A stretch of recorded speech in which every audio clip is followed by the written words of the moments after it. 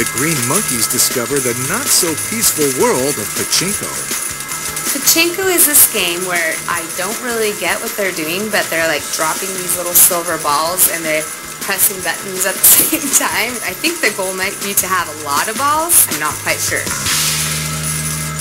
We're meeting the boss and we can't hear a word he's saying because it's so loud in there.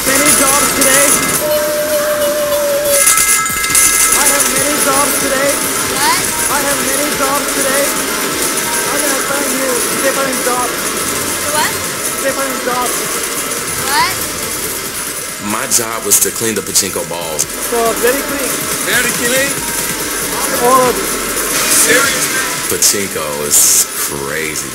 I've never seen anything like that.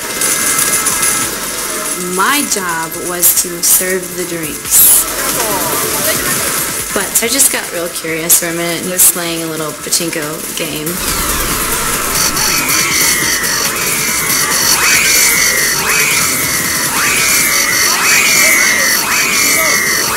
I got fired from the waitressing job pretty quick and he says to me, you go wash the balls. I got in trouble. You got in trouble? Sorry, I'm playing the machine. My job was to advertise for Pachinko Palace. And by myself, it's pouring rain. It's just sad.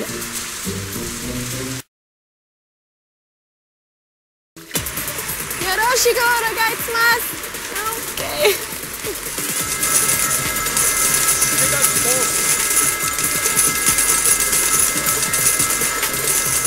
This is my job, I'd probably commit suicide. Go, You did good job. What? You did good job. Thank you. Thank you.